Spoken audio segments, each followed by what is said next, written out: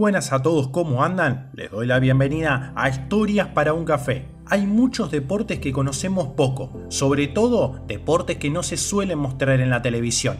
Una de estas disciplinas es el judo, arte marcial que siempre se hace presente, sobre todo en los Juegos Olímpicos. Dentro de este deporte existe una judoka que es una leyenda. Hoy vamos a conocer la historia de Ryoko Tani, la mejor judoka de todos los tiempos. Pero antes de comenzar, si el contenido del canal te gusta, te invito a suscribirte que me ayuda a seguir creciendo. Ryoko Tamura Tani es una judoka japonesa que nació el 6 de septiembre de 1975 en la ciudad de Fukuoka, Japón.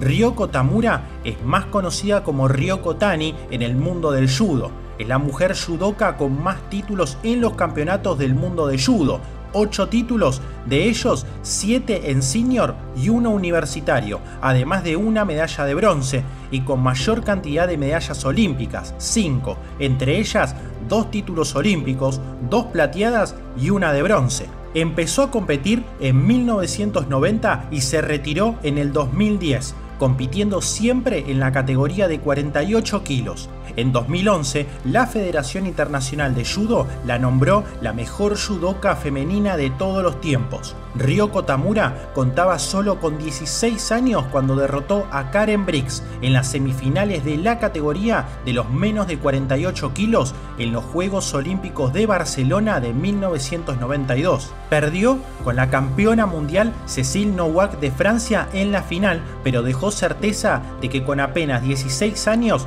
tendría un prometedor futuro en los tatamis. La pequeña nipona de apenas 1,46 m fue invencible durante los cuatro años siguientes y se convirtió en una figura muy popular en Japón, donde sus éxitos habían despertado un interés en el judo femenino, y llegó el sueño añorado, la final olímpica en Atlanta de 1996, a la que asistía con 84 victorias consecutivas y dos títulos mundiales senior en su haber 1993 y 1995, además de un oro mundial universitario y un título continental asiático. Su adversaria fue una completamente desconocida Kie Sung-hee de la República Popular Democrática de Corea y con 16 años de edad quien nunca había escuchado de Tamura. Desde el comienzo Kie emprendió un ataque tan fuerte a Tamura y la doble campeona mundial no pudo establecer su ritmo de pelea. Finalmente, el título olímpico perteneció a Kie y la japonesa Tamura salió de Atlanta solo con la medalla de plata. Entre las Olimpiadas de 1996 y el 2000, Tamura ganó otra vez todos los combates. Para los Juegos de Sydney, ningún deportista japonés tenía el mayor peso que Tamura en las expectaciones de su nación. Y esta vez la nipona no desilusionó, derrotando en la final a la rusa Lyubov Bruletova por Ippon en apenas 36 segundos. Luego del combate, Tamura fue cercada por fotógrafos y camarógrafos quienes rompieron la barrera que separaba a los atletas de los medios de comunicación la entrevista televisiva en vivo duró hasta las 3 de la mañana. Finalmente, sola en su habitación en la Villa Olímpica, Tamura no pudo controlar su emoción y lloró. Aún con lágrimas, colocó su medalla de oro sobre su almohada para acompañarle una noche sin sueño. En los Juegos Olímpicos de Atenas 2004, Ryoko Tamura, cuyo nombre había pasado a ser Ryoko Tani por haber contraído matrimonio con Yoshitomo Tani, ex miembro del equipo de béisbol de Japón,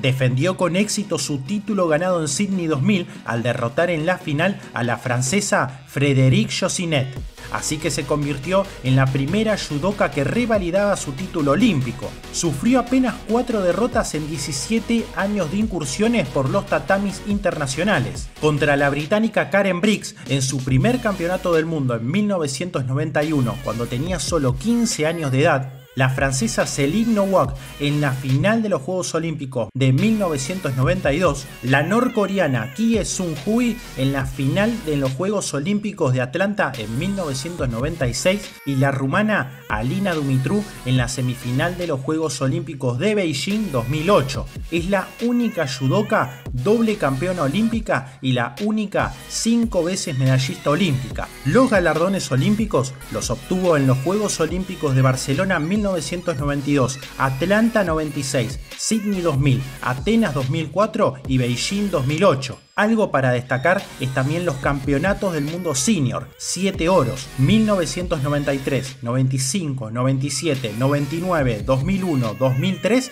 y 2007, además del bronce ganado en 1991.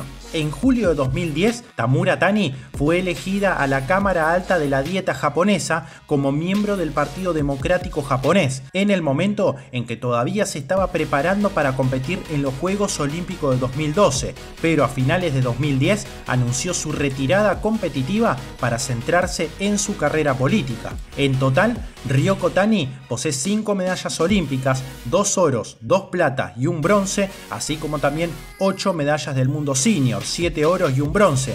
También posee una medalla de oro de los Juegos Asiáticos. Espero que el video haya servido para aprender más sobre esta gran deportista. De ser así, me podés regalar un pulgar arriba y suscribirte que ayuda al canal a seguir creciendo. Esto ha sido Historias para un Café y nos veremos pronto. Hasta luego.